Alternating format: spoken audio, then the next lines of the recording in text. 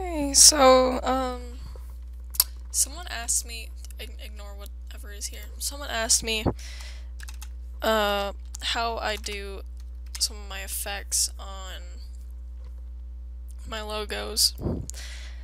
And I asked him what exactly he wanted to know about them, and he said just pretty much whatever I did to his logo. So I'm gonna make, or teach you guys how to, it's kind of like a smoke effect.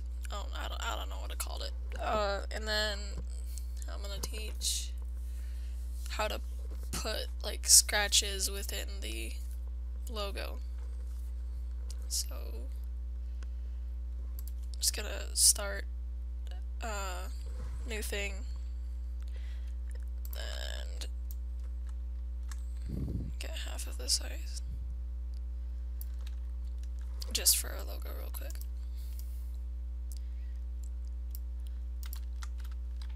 I'm just gonna mess with the shape. This isn't black. Oops. Oh.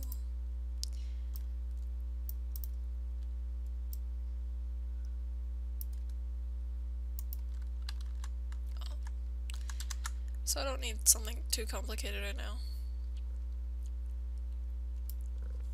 So I'll just stick with this.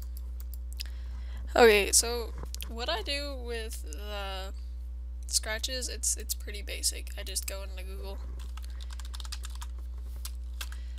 uh, grunge texture HD.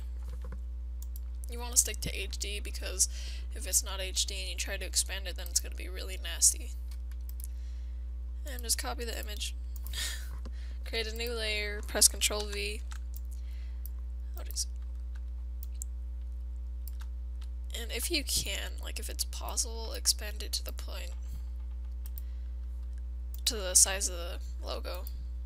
And you just go down back to the earlier layer, and then go back, or press, hold down control, and click on the shape, and then go up to the other layer, press control X, create a new layer, press control V, get rid of the layer you just took away from.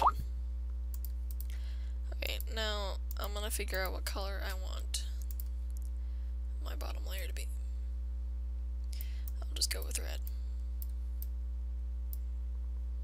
There. Okay. So now you're gonna figure out what you want for this part. Multiply, additive, color burn. I usually do overlay. Uh, I learned a cool one was reflect and glow, so let's go with glow. Okay. Um, just complete. Okay. Now I'm just gonna. Oh wait.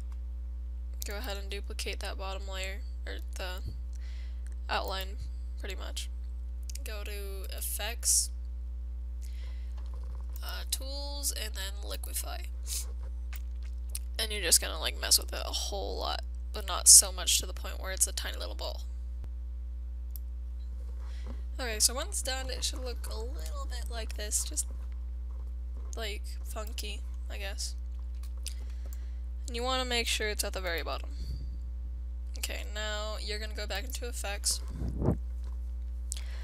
Go to tools again and click smudge. Now you're just gonna like mess with it really bad. Okay. Now it looks like that. I'm Just gonna press OK. Give it like a minute to load. And if you don't like it at the bottom, just move it all the way to the top and figure out which one you think it looks best with.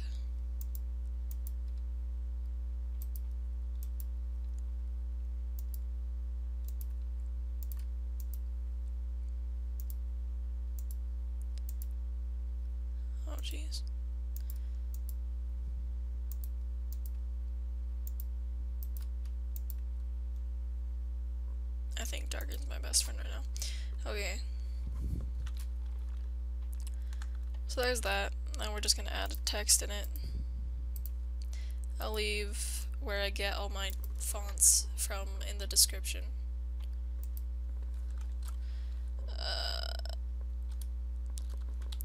I don't, I don't, I don't know. Okay. I'll make that black.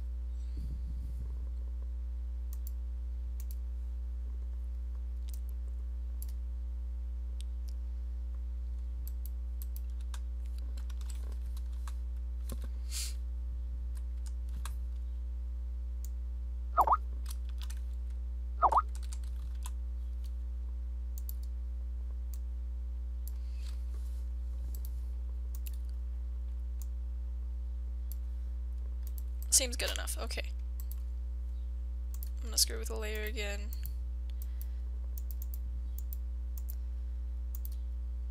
If it'll maybe let me.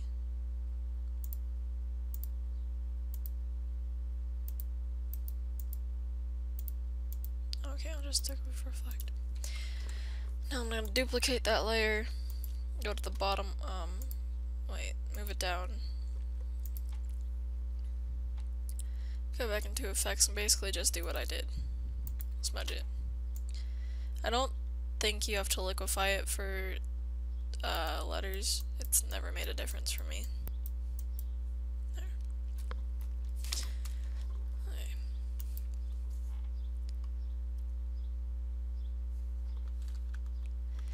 Yep, so that's that.